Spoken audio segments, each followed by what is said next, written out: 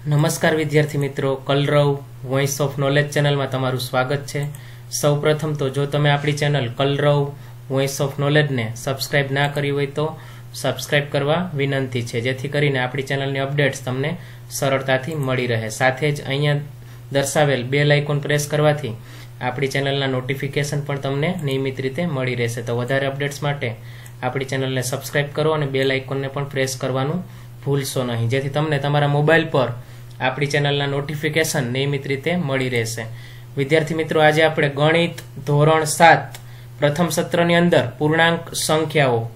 પેલું પ્રકરણ છે, એના સ્વાધ્યાય એક પોઈન્ટ ત્રણની અંદર, ભાગ ત્રણની અંદર આજે આપણે દાખલા નંબર છ થી જે બાકી રહેતા દાખલા છે, સ્વાધ્યાય એક પોઈન્ટ ત્રણના, એનો અભ્યાસ કરવાનો છે. આગળ આપણે બે ભાગની અંદર એકથી પાંચ દાખલાનો અભ્યાસ કરી ગયા છે, જે તમને આપણી ચેનલ પર પ્લેલિસ્ટમાંથી સરળતાથી મળી રહેશે. તો ચાલો શરૂઆત કરીએ દાખલા છઠ્ઠાથી. ઠંડુ કરવાની પ્રક્રિયા માટે ઓરડાના તાપમાનને ચાલીસ અંશથી શરૂ કરીને પાંચ અંશ સેલ્સિયસ પ્રતિ કલાકના દરે ઘટાડવું જરૂરી છે. પ્રક્રિયા ચાલુ કર્યાના દસ કલાક પછી ઓરડાનું તાપમાન કેટલું હશે? તો ચાલીસ અંશ સેલ્સિયસ અત્યારે ઓરડાનું તાપમાન છે અને પાંચ અંશ સેલ્સિયસ પ્રતિ કલાકના દરે ઘટાડવાનું છે. તો દસ કલાક પછી ઓરડાનું તાપમાન કેટલું હશે?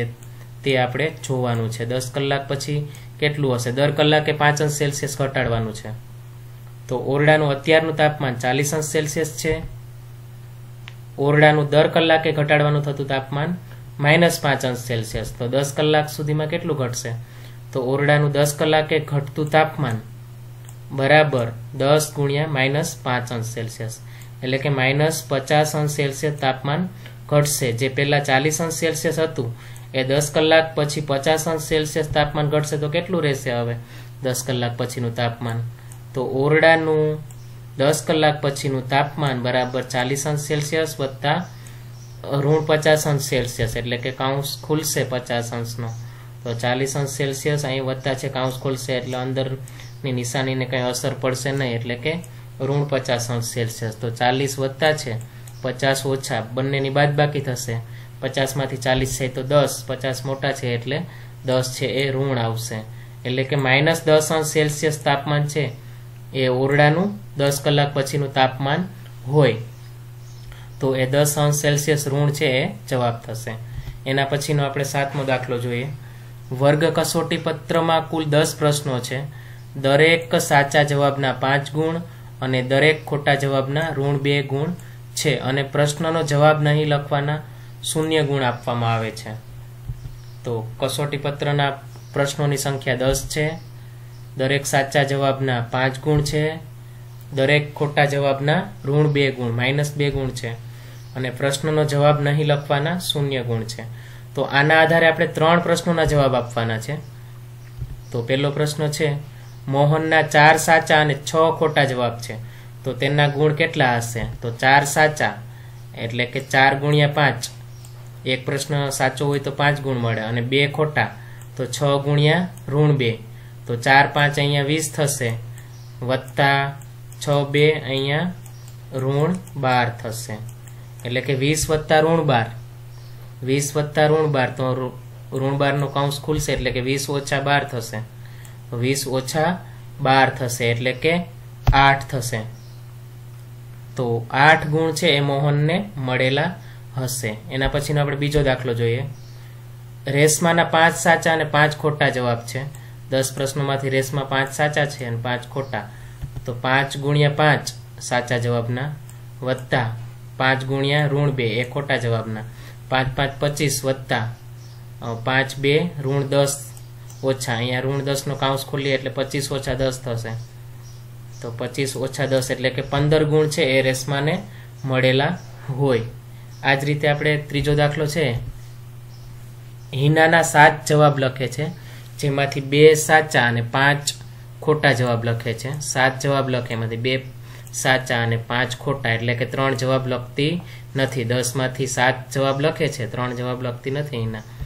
તો બે સાચા જવાબના બે ગુણ્યા પાંચ, બે ગુણ્યા પાંચ. બે પાંચ ખોટા જવાબના પાંચ ગુણ્યા ઋણ બે અને ત્રણ પ્રશ્નો લખતી નથી, એટલે કે ત્રણ ગુણ્યા નહીં જવાબ લખવાના શૂન્ય ગુણ છે, એટલે ત્રણ ગુણ્યા જીરો.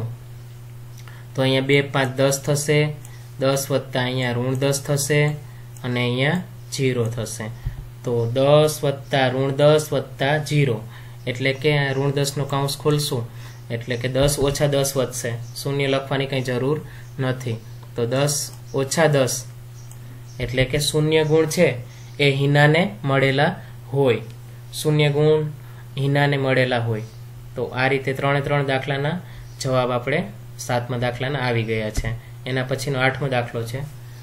અહીંયા એક સિમેન્ટ કંપનીને સફેદ સિમેન્ટની એક ગુણ વેચતા આઠ રૂપિયા નફો મળે છે અને એક ગુણ રાખોડી સિમેન્ટની વેચતા પાંચ રૂપિયાની ખોટ જાય છે. એટલે કંપની છે એ સફેદ સિમેન્ટની ગુણી ઉપર આઠ રૂપિયા નફો કરે છે. જ્યારે રાખોડી સિમેન્ટની ગુણી ઉપર પાંચ રૂપિયાની ખોટ કરે છે. તો આના ઉપરથી બે પ્રશ્નોના જવાબ છે આપણે આપવાના. કંપનીને એક મહિનામાં ત્રણ હજાર ગુણ સફેદ સિમેન્ટની અને પાંચ હજાર ગુણ રાખોડી સિમેન્ટની વેચી છે. તો કંપનીને કેટલો નફો કે કેટલો ખોટ ગયો હશે? તો કંપની છે ત્રણ હજાર ગુણ સફેદ સિમેન્ટની વેચે, તો એની ઉપર નફો મળશે. જ્યારે રાખોડી સિમેન્ટની પાંચ હજાર ગુણ વેચે, તો એની ઉપર ખોટ જશે. હવે કંપનીને નફો થાય કે ખોટ? જો નફો વધારે હશે તો નફો થશે ને ખોટ વધારે હશે તો ખોટ જશે. આપણે જોઈએ. સફેદ સિમેન્ટની એક ગુણી પર કંપનીને આઠ રૂપિયા નફો મળે છે. તો આવી ત્રણ હજાર ગુણી કંપની વેચે સફેદ સિમેન્ટની. ત્રણ હજાર ગુણી સફેદ સિમેન્ટની વેચે છે તો કંપનીને મળતો નફો ત્રણ હજાર ગુણ્યા આઠ, એક ગુણી ઉપર આઠ રૂપિયા નફો મળે છે. એટલે કે ત્રણ આઠ ચોવીસ, એની ઉપર ત્રણ શૂન્ય બીજા. એટલે કે ચોવીસ હજાર રૂપિયા કંપનીને નફો મળે છે સફેદ સિમેન્ટની ગુણી પર. આ જ રીતે કંપની છે એ રાખોડી સિમેન્ટની પણ ગુણી વેચે છે. તો રાખોડી સિમેન્ટની ગુણી પર કંપનીને પાંચ રૂપિયાની ખોટ જાય છે. પાંચ રૂપિયાની ખોટ જાય છે. તો આવી પાંચ હજાર ગુણી વેચે છે કંપની. તો રાખોડી સિમેન્ટની પાંચ હજાર ગુણી પર કંપનીને જતી ખોટ, એટલે કે પાંચ હજાર ગુણ્યા પાંચ, એટલે કે પચીસ હજાર રૂપિયાની ખોટ જાય છે. એની સામે એને ચોવીસ હજાર રૂપિયાનો નફો થાય છે. એટલે કે ખોટ વધારે છે પચીસ હજાર. તો કંપનીને અહીંયા ખોટ જશે. અહીં કંપનીને ખોટ જાય છે. કેટલી ખોટ જાય છે તો કે ખોટ પચીસ હજાર રૂપિયા છે. એની સામે નફો છે એ ચોવીસ હજાર રૂપિયા છે. રાખોડી સિમેન્ટ ઉપર ખોટ જાય છે. સફેદ સિમેન્ટ ઉપર નફો થાય છે. તો પચીસમાંથી ચોવીસ જાય તો એક હજાર રૂપિયા કંપનીને છે એ ખોટ જશે. એક હજાર રૂપિયા કંપનીને ખોટ જાય છે. આ જ રીતે બીજો દાખલો જોઈએ. બી. જો રાખોડી સિમેન્ટની છ હજાર ચારસો ગુણ વેચાઈ હોય, તો સફેદ સિમેન્ટની કેટલી ગુણ વેચાય તો નફો પણ ન થાય અને ખોટ પણ ન જાય. રાખોડી સિમેન્ટની છ હજાર ચારસો ગુણી છે કંપની, એ વેચી છે, તો એની ઉપર ખોટ ગઈ, તો એની સામે સફેદ સિમેન્ટની કેટલી ગુણ વેચે કંપની? તો નફો પણ ન થાય અને ખોટ પણ ન જાય. તો રાખોડી સિમેન્ટની એક ગુણી પર કંપનીને પાંચ રૂપિયાની ખોટ જાય છે, તો આવી છ હજાર ચારસો ગુણી કંપની વેચે છે. તો રાખોડી સિમેન્ટની છ હજાર ચારસો ગુણી પર કંપનીને જતી ખોટ, એટલે કે છ હજાર ચારસો ગુણ્યા પાંચ, તો પાંચ પાંચ જીરો જીરો, પાંચ જીરો જીરો, પાંચ ચાર વીસની શૂન્ય, વધી બે આવશે પાંચ છત્રીસ ને બે બત્રીસ, એટલે કે બત્રીસ હજાર રૂપિયાની ખોટ કંપની છ હજાર ચારસો ગુણી વેચે રાખોડી સિમેન્ટની, તો બત્રીસ હજાર રૂપિયાની ખોટ આવે છે. તો હવે કંપની એની સામે કેટલી ગુણી વેચે સફેદ સિમેન્ટની? તો એને ખોટ પણ ન જાય અને નફો પણ ન થાય. તો કંપનીને સફેદ સિમેન્ટની કંપનીને નફો પણ નહીં થાય અને ખોટ પણ ન થાય તે માટે સફેદ સિમેન્ટનું બત્રીસ હજાર રૂપિયાનું વેચાણ થવું જોઈએ. જેટલી ખોટ ગઈ બત્રીસ હજારની. એની સામે એને બત્રીસ હજાર રૂપિયાનો નફો પણ થવો જોઈએ. તો કંપનીને નફો પણ ન થાય અને ખોટ પણ ન જાય. એટલે કે સફેદ સિમેન્ટ ઉપર કંપનીને નફો મળે છે. તો એ નફો બત્રીસ હજાર રૂપિયાનું વેચાણ થાય તો થાય. તો કંપની બત્રીસ હજાર રૂપિયાનું વેચાણ થવું જોઈએ. તો કંપનીને છે, સફેદ સિમેન્ટ ઉપર આઠ રૂપિયા નફો મળે છે એક થેલી ઉપર. સફેદ સિમેન્ટની એક ગુણી પર કંપનીને આઠ રૂપિયા નફો મળે છે. તો બત્રીસ હજાર રૂપિયાની કેટલી ગુણી વેચવી પડશે? એટલે કે બત્રીસ હજાર ભાંગ્યા આઠ કરશું, તો સફેદ સિમેન્ટની વેચવાની થતી ગુણની સંખ્યા મળી જશે આપણે. તો બત્રીસ હજાર ભાગ્યા આઠ એટલે કે એના છેદમાં આઠ. તો આઠ ચાર બત્રીસ અને ત્રણ શૂન્ય બીજા. એટલે કે ચાર હજાર ગુણી વેચશે કંપની ચાર હજાર ગુણી. તો કંપનીને નફો પણ ન થાય અને ખોટ પણ નહીં જાય. તો સફેદ સિમેન્ટની કંપનીને વેચવાની થતી ગુણ છે એ ચાર હજાર ગુણી વેચવી પડશે. અહીંયા એક હજાર ભૂલથી લખાયેલા છે. કંપનીને સફેદ સિમેન્ટની ચાર હજાર ગુણી વેચવી પડે. જેથી કંપનીને નફો પણ ન થાય કે ખોટ પણ ન જાય. તો કંપની રાખોડી સિમેન્ટમાં બત્રીસ હજાર રૂપિયાની ખોટ કરે છે છ હજાર ચારસો ગુણી વેચીને. તો એની સામે સફેદ સિમેન્ટની જો ચાર હજાર ગુણી વેચે, તો કંપનીને નફો પણ નહીં થાય અને ખોટ પણ નહીં જાય. એના પછીનો આગળનો દાખલો જોઈએ. ખાલી જગ્યાને પૂર્ણાંક સંખ્યા વડે દર્શાવી વિધાન છે સાચું બનાવવાનું છે. તો અહીંયા સિત્યાવીસ. સિત્યાવીસ અહીંયા ખાલી જગ્યામાં ત્રણ છે. તો ત્રણ ગુણ્યા કેટલા કરીએ તો ધન સિત્યાવીસ આવે. તો અહીંયા ઋણ સંખ્યા મૂકશું. બે ઋણ સંખ્યાનો ગુણાકાર છે, એ ધન થાય. તો અહીંયા આપણે ઋણ નવ મૂકીએ, ત્રણ નવ સિત્યાવીસ. એટલે ઋણ નવ મૂકીએ, તો સત્યાવીસ જવાબ છે એ આવશે. તો ખાલી જગ્યા પહેલીની અંદર ઋણ નવ આવશે. એ જ રીતે બી ખાલી જગ્યા છે. પાંચ ગુણ્યા કેટલા કરીએ તો પાંત્રીસ થશે ઋણ. તો અહીંયા ઋણ સંખ્યા મૂકવી પડશે. એક ઋણ હોય તો જવાબ ઋણ આવે. તો પાંચ સાત પાંત્રીસ, પણ સાત છે એ ઋણ આવશે. તો સાત ઋણ. એ જ રીતે અહીંયા ખાલી જગ્યા ગુણ્યા ઋણ આઠ બરાબર છપ્પન.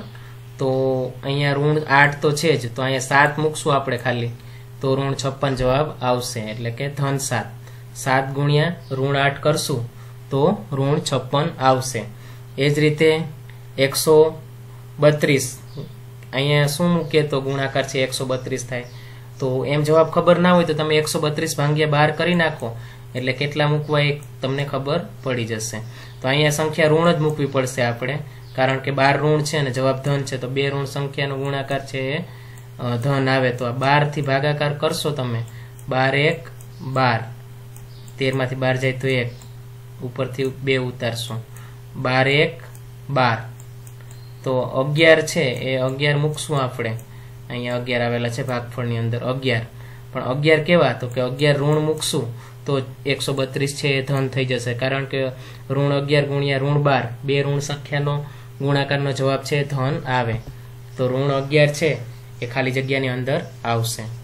તો વિદ્યાર્થી મિત્રો, જરૂરથી તમને આજનો આપણો આ વીડિયો પસંદ આવ્યો હશે. જો પસંદ આવ્યો હોય તો અન્ય વિદ્યાર્થી મિત્રો અને શિક્ષક મિત્રો સુધી શેર કરવા વિનંતી છે. સાથે જ આવા અન્ય વીડિયો માટે ધોરણ છ થી આઠના ગણિતના આવા અન્ય વીડિયો માટે આપણી ચેનલને કલરવ વોઇસ ઓફ નોલેજને સબસ્ક્રાઇબ કરજો. આપણી ચેનલ પર પ્લેલિસ્ટમાંથી તમને પ્રકરણ વાઇઝ ધોરણ છ થી આઠના ગણિત વિષયના વીડિયો પ્રકરણ વાઇઝ મળી રહેશે. આ ઉપરાંત જનરલ નોલેજના વીડિયો પણ મળી રહેશે. સામાજિક વિજ્ઞાનના વીડિયો પણ આપણી ચેનલ ઉપરથી પ્લેલિસ્ટમાં તમે જઈ અને જોશો તો પ્રકરણ વાઇઝ વીડિયો મળી રહેશે.